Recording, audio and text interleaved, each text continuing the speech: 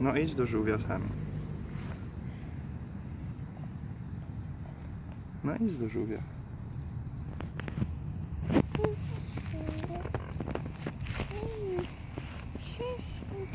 Hmm? No chodź.